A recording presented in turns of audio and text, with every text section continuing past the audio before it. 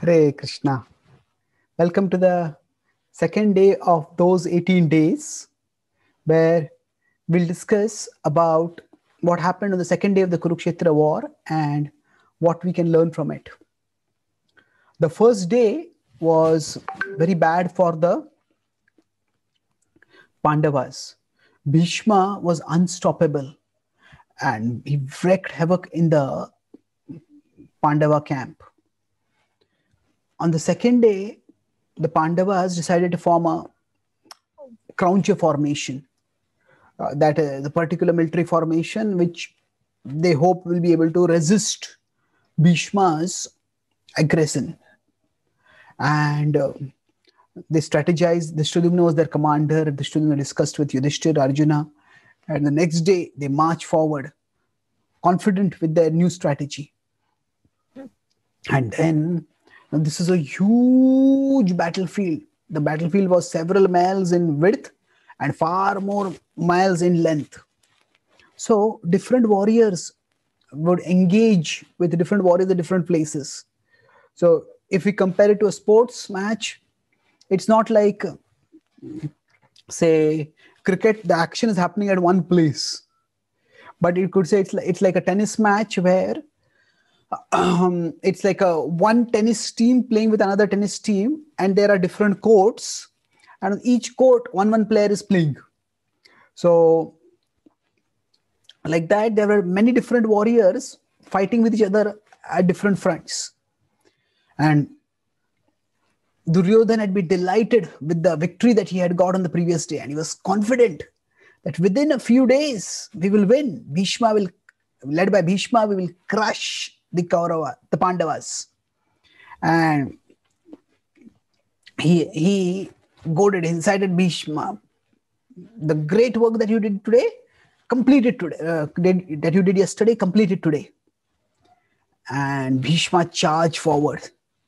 And he fought with such ferocity that again the Pandava warrior uh, soldiers started fleeing in dismay and despair Bhishma was just unstoppable. Who, whichever warrior came in front of him, he was just mowed over. And seeing this, seeing him unstoppable, Arjuna decided to charge toward Bhishma. That had been a topic of discussion in the previous evening's meetings, that Arjuna had been reluctant to fight with Bhishma. But this time he knew there was no stopping. Uh, and especially seeing how Bhishma was fighting, Arjuna started fighting, attacking fiercely. And as Arjuna started charging toward Bhishma, then several other warriors came on the Kaurava side to help Bhishma. And Duryodhana and Shalya and other warriors came over there. And on the Pandava side, also several warriors came to assist Arjuna. And as the fight moved forward, Arjuna overall started overpowering all the Kaurava warriors assisting Bhishma and he bet them all back and then he started attacking Bhishma fiercely.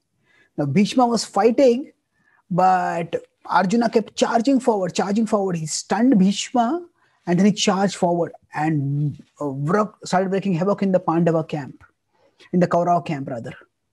And then, as this was happening, uh, Duryodhan, seeing the devastation in his army, he, he charged up to Bhishma and he said, Oh, grandfather, can you not see how Arjuna is moving through my army like a farmer might harvest crops? Please stop him. Please protect us. Bhishma looked at Duryodhana with angry and sorrowful eyes. He says, Fie upon a Kshatriya's duty. He really had no heart to fight with Arjuna. He had his turn around and he charged towards Arjuna and Arjuna and Bhishma kept fighting with each other. So Arjuna had already wreaked havoc on the Kaurava camp, and as they kept fighting, fighting, fighting, it was like a stalemate between the two of them. Elsewhere, Drishtadyumna, knowing that he had taken a vow to bring down Drona, charged towards him. And although Drishtadyumna tried various means to overpower Drona, Drona was expert and he countered all of the weapons of the of Drishtadyumna. Drishtadyumna took various celestial weapons and he attacked Drona. And Drona used his own celestial weapons to stop them. Drishtadyumna tried again and again. When Drishtadyumna had been born, he had born with a prophecy uh, that he would be the cause of the death of Drona. And in terms of sheer skill, Drishtadyumna was no match for Drona. But in terms of this confidence, that conviction that he would be victorious, that was what powered Drishtadyumna on and on. And although Drona held him, held, held off all his attacks, Drishtadyumna kept attacking. But again, here also there was a stalemate. The day's major fight and the major was between Bhima and the Kaurava forces. And sec- the first day was Bhishma's day. The second day turned out to be Bhima's day. Bhima was skilled in various weapons. Normally, when the warriors would assemble, they would all have their chariots, and from the chariots, they would fight with bows and arrows. But on special occasions, they could use other weapons also.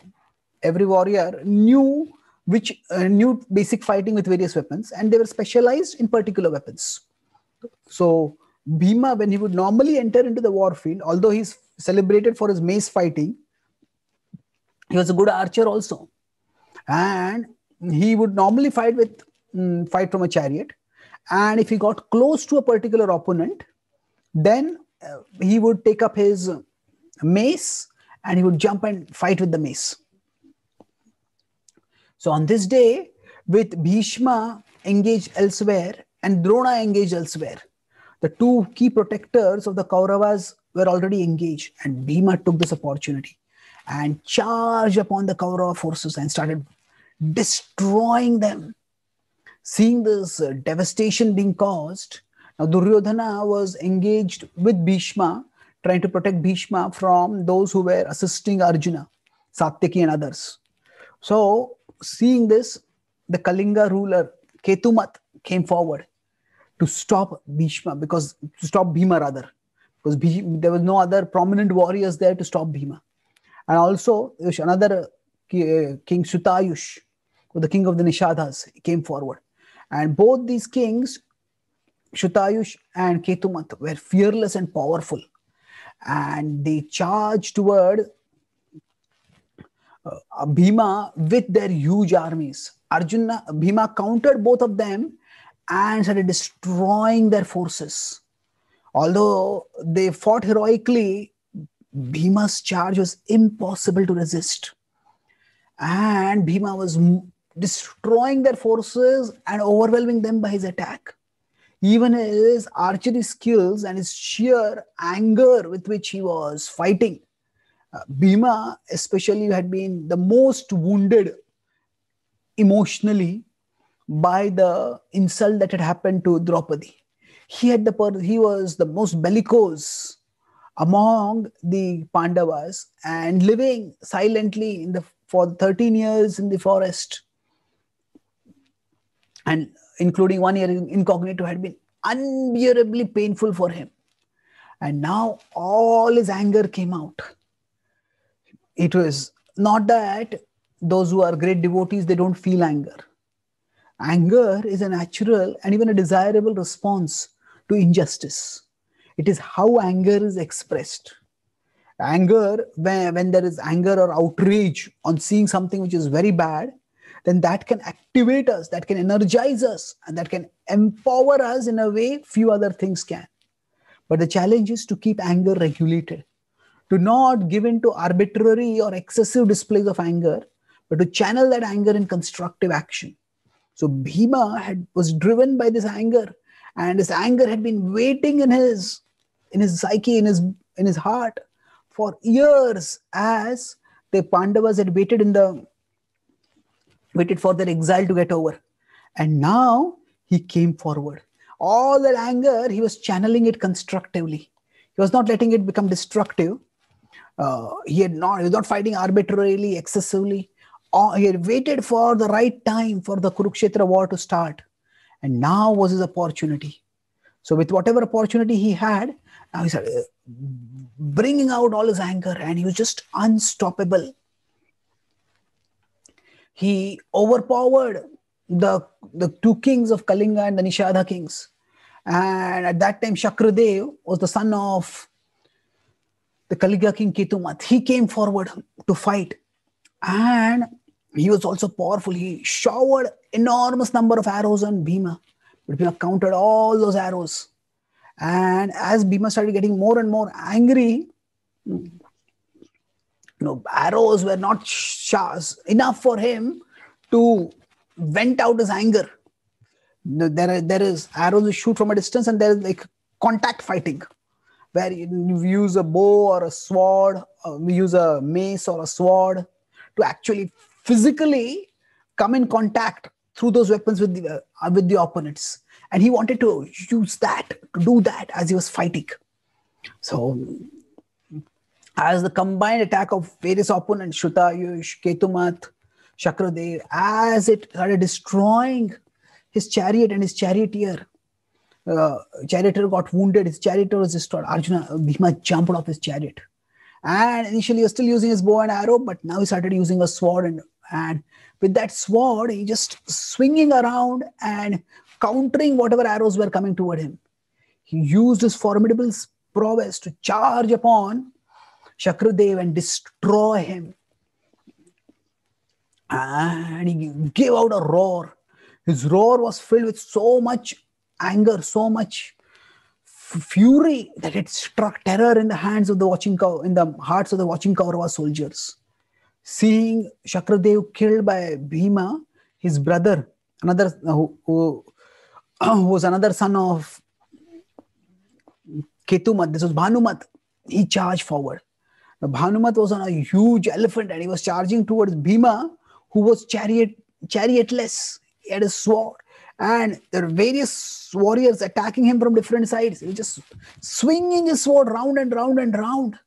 And he was countering all the arrows that were coming toward him. If any arrow came and hit him, his body was like adamant, adamant, and it he just managed to tolerate all the wounds that came upon him with his own strength of willpower and with his armor. And when he saw this giant elephant and the warrior atop the elephant charging toward him. Bhima did the most stunning of things. Uh, his opponent expected him to flee. If a giant elephant is charging, what would normally anybody do? Just flee in fear. But Bhima decided to do something utterly unexpected and stunningly daredevilish. Instead of turning away, he just started running straight toward the elephant and everybody on the battlefield was just shocked, flummoxed. What is he doing? And even the elephant and the elephant warrior, what is this person doing? He was running straight toward the elephant, and he got a momentum as he was running toward the elephant. And as they came close, he just leapt up. And the attack was so unexpected that Bhanumat was utterly unprepared. Bhima just charged up right up to Bhanumat and brought his sword down. And he just cut Bhanumat's body into two parts. And he fell on the ground. And as now Bhima was on the elephant, and he just quickly turned around, and the elephant had, when the elephant had seen Bhima move up, he had tried to move his trunk up to try to stop Bhima from going up and to, wanting to catch him. But Bhima had just been too fast. In one swift move, he had finished off the king. And in another quick move, he turned around and the elephant's trunk had, was still raised up. One forceful lop, he cut off the tongue, uh, cut off the trunk of the elephant. And the elephant screamed in pain. And as the elephant fell, severely wounded, Bhima leaped, leapt off and gave a huge, scary roar of victory. So, fierce was his attack that now not only was he roaring fiercely, not only was he fighting forcefully, this was a stupendous display of skill and strength, wherein a warrior without any chariot had within moments destroyed both the elephant and elephant warrior. The Kauravas, how can we even fight against such an enemy? terrified, and the Kalinga soldiers started fleeing. Ketumat somehow tried to get all of them together to get them to stop and watch, to stop and aid in fighting. Mm, but none of them had the courage. So at that time, the Kalinga king Ketumat himself charged toward Bhima. And seeing him charging, some of his warriors got some courage and they started fighting. And Bhima just marched forward, plowing through whoever came in his way. And within a short while, he had just devastated the entire remaining army of Kalinga. So the Nishadas marched forward. Shrutayush and Ketumat both were attacking Krishna, uh, Bhima along with their armies. But Bhima just fought forcefully and fearlessly. And he brought down, within a few moments, he brought down Shrutayush and then he neutralized Ketumat. And he roared in victory. As the day moved toward twilight, you know, it became clear that the Kauravas had been badly battered. While their major warriors had been held uh, in a stalemate, Bhishma and Drona had been held in a stalemate by Arjuna and Drishtadyumna, Bhima had wreaked havoc. And and in that way, that evening, when Duryodhan assembled in his camp, he was dazed, he was shocked, he was uh, disbelieving. How could this have happened? How had the tables turned so severely in just one day? Yesterday, he had been celebrating his victory and thinking that within just a few days the war would be over. In fact, he had expected that Bhishma might finish the war on that day. And far from finishing the war, he was reeling under the considering the consequences of a brutal defeat at the hands of Bhima. So this is the nature of life. This is the nature of war and of life at large. Now, yesterday's laurels do not count today. Every day is a new battle. Every day is a new fight. And yesterday's victory doesn't provide a victory today one cannot become complacent. We all have to be vigilant. It's like just uh, if it's a sports match, a batsman may be batting very well, and the batsman may have hit uh, maybe two successive boundaries or two successive sixes on the previous balls. But that doesn't mean the next ball the batsman is going to hit well. It just takes one ball to get out. So the previous successes don't guarantee today's success. Of course, the skills and the values that we have learned to gain our previous successes and we have whatever we have learned from those successes those can help us to face today's battles. But today's battle has to be fought today. Using the lessons of yesterday but they have to be fought today. And if we fail to fight today's battles today if we don't, we don't fight well we will lose. So duryodhana had become complacent after the first day's battle and he paid a heavy price. Far from him being able to tout his victory, he had to lick his wounds and think what had happened. So, for all of us, life goes through ups and downs. There are dualities. Some days we may feel low. We are all facing an inner war against our own mind's moods. And sometimes the mind's moods work positively, sometimes they don't work positively for us.